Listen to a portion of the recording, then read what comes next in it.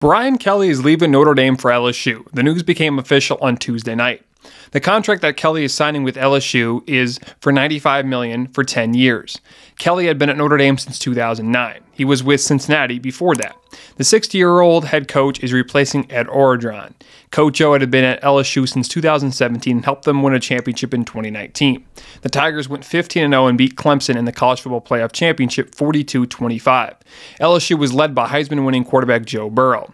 On October 17th of this year, it was announced that Orgeron would not return as head coach for LSU, just two years removed from winning a title.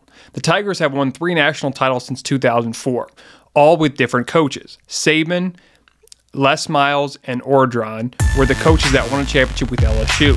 During his time with the Fighting Irish, Kelly made two college football playoff, playoff appearances, one national championship appearance, and an ACC championship game in 2020 when the coronavirus shortened season, uh, when, when the coronavirus was around and they had to play in the ACC. He was 113 and 40 and the winningest coach in Notre Dame history.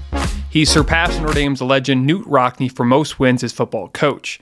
The only thing he did not accomplish at South Bend was winning a national title. The last time the Fighting Irish won a championship was in 1988 with Lou Holtz as head coach. The news broke on Kelly being hired as the next head coach for LSU was when he was on the on the road recruiting. Kelly told his player that he was leaving via text message on Monday night.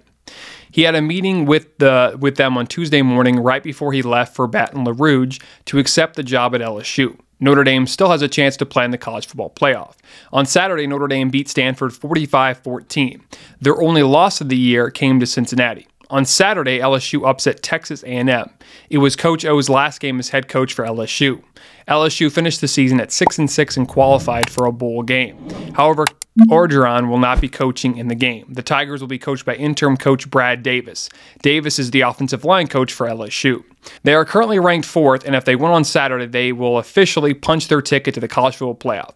It's been a crazy few days in college football.